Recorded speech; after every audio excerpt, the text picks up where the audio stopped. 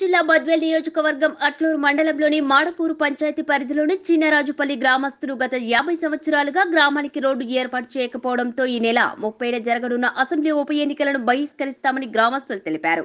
గ్రామంలో ఏ రాజకీయ పార్టీని ప్రచారం చేయనీయమని గ్రామస్తులంతా ఆదివారం ర్యాలీ చేపట్టారు. గత నలభై సంవత్సరాల కాలంలో ఎన్నో ప్రభుత్వాలు మారుతున్నాయి పాలకులు మారుతున్నారు కానీ రోడ్డు మార్గం నిర్మాణం కాలేదు. గ్రామంలో పిల్లలు పాఠశాలకు వెళ్ళాలన్నా వివిధ పట్టణాలకు వెళ్ళాలన్నా నూట ఎనిమిది వాహనం కూడా రాలేని దుస్థితి ఏర్పడిందన్నారు. మాకు సీఎం జగన్ గారు న్యాయం చేయాలంటూ ఆక్రోశానికి గురయ్యారు. దీంతో గ్రామస్తులంతా ఏకమై ఎన్నికలను బహిష్కరించాలని నిర్ణయించారు. ఓకే ముందుగా మీడియా సోదరులందరికీ నా నమస్కారాలు. ఇది ఇప్పటి నుంచి కదా సార్ ఇది చాలా నుంచి జరుగుతుంది ధర్నా- అనేది ర్యాలీ అనేది. మా వార్డు మెంబర్ కాడించి ఎమ్మెల్సీ దగ్గరికి కూడా మేము అర్జీలు ఇచ్చినాము. దానికి కూడా రెస్పాన్స్ లేదు. తర్వాత కలెక్టర్ హరికిరణ్ దగ్గర కూడా పోయినాము. అక్కడికి కూడా అర్జీ రెస్పాన్స్ లేదు. ఎంపీడీఓ అయితేనే ఉంది. ఇక్కడ పల్లెల్లో ఉండే మినీ మినీ నాయకులు అయితేనే ఉంది. అందరి దగ్గరికి పోయినాం కానీ ఇంతవరకు ఎవరి దగ్గర నుంచి ఏ రెస్పాన్స్ లేదు.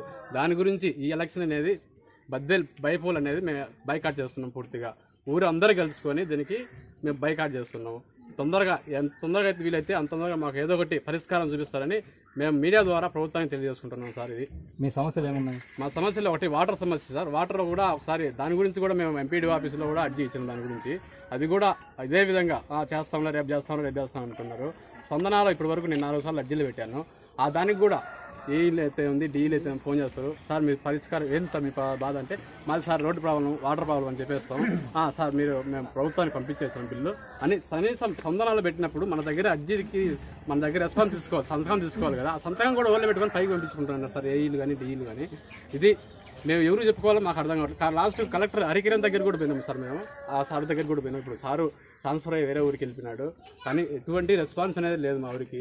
కాబట్టి మీ మీడియా ద్వారా మేము తెలియజేయడం ఏంటంటే మాకు ఎంత తొందరగా వీలైతే అంత తొందరగా వాటర్ ప్రాబ్లం అయితేనే ఉంది రోడ్డు మార్గం అయితేనే ఉంది అది ఒకటి పరిష్కారం చేస్తారని ప్రభుత్వానికి తెలియజేసుకుంటాం మీకు ఎన్ని సంవత్సరాలుగా ఉంది ఈ సమ- సమస్య? కనీసం గత యాభై సంవత్సరాల నుంచి ఇట్నే ఉంది సార్. అడిగినారా ఎవరైనా ఈ సమస్య వల్ల మీరు ఎటువంటి ఇబ్బందులు పడుతున్నారు? చాలా ఇప్పుడు స్కూల్ పోవడానికి పిల్లలు కానించి పిల్లలు ఇబ్బంది పడుతున్నారు. పాలోళ్ళు రావడానికి వర్షం పడినప్పుడు పాలోళ్ళు కూడా ఇబ్బంది పడుతున్నారు. కనీసం ఊళ్ళో టీచర్లు ఇద్దరు టీచర్లు ఉంటే వాళ్ళు రావడానికి కూడా ఇప్పుడు ఏట్లో నీళ్ళు వచ్చేసినాయి కాబట్టి బ్యాక్ వాటర్ వచ్చేసినాయి కాబట్టి బద్దెలను తిరుక్కొని కనీసం స్టేజ్ కానీ నడుచుకుంటూ రాలేని పరిస్థితులు ఉన్నాయి సార్ టీచర్లు కూడా. పిల్లలు కూడా స్కూల్కి వచ్చి మళ్ళీ వెనక్కి పోతున్నారు. టీచర్లు రాలేదు. ఏం చేస్తారు ఎట్లేటప్పుడు మళ్ళీ? వైద్య సేవలు వాళ్ళు వాళ్ళు వస్తున్నారా? One zero water one zero eight వాహనం కూడా రావట్లేదు సార్.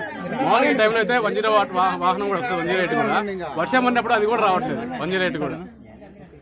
మేము గత యాభై సంవత్సరాల నుంచి మేము కాదు మా మా తాతలు కానీ ముడతాతలు అప్పటి నుంచి